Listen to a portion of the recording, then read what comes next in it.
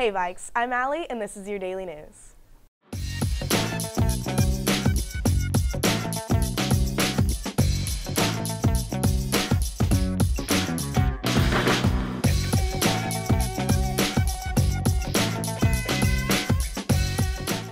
Seniors, during Seminar Wednesday, you will be voting for snowball candidates. If you won't be there, talk to Miss Alliker.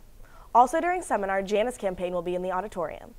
After school that day, there will be a meeting for all athletes interested in spring conditioning. Thursday, the Vikettes have a showcase at 7 p.m.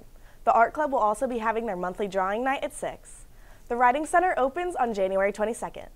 The theme for tonight's game has changed to country. Make sure you come out and support your Vikes. Now over to Josh with the weather. Good afternoon to you. A cold front moved through the area last night, but we're not all too much cooler for today. Still managing to make it up near 50 degrees for the next few hours, but temperatures do start to fall once we get closer to sunset. Back down to 40 by 7 tonight, so just keep that in mind. If you're planning on heading out to the basketball game, maybe a good idea to bring a jacket for your way home tonight. Otherwise, we stay clear all the way through the rest of today. But that trend does start to change later in the week. Let's take a look Friday night into Saturday. There could be some rain moving in from the south. Now, this could change over to snow. That's the current indication from the new data that came in overnight.